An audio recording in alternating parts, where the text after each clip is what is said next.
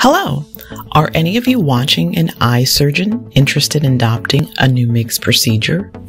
Would you be interested in discovering the top three challenges ophthalmology surgeons face when it comes to starting a new MIGS?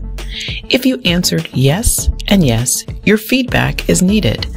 My name is Dr. Constance Okeke, MIGS author, educator, and trainer, and I'm conducting an anonymous survey about the process of adopting a new MIGS procedure for my upcoming masterclass project.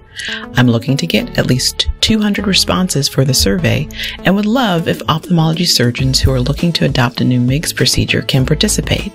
The survey takes less than three short minutes to complete.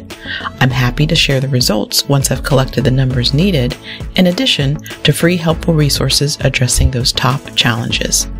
The window for participation in the survey and the free helpful resources will close soon.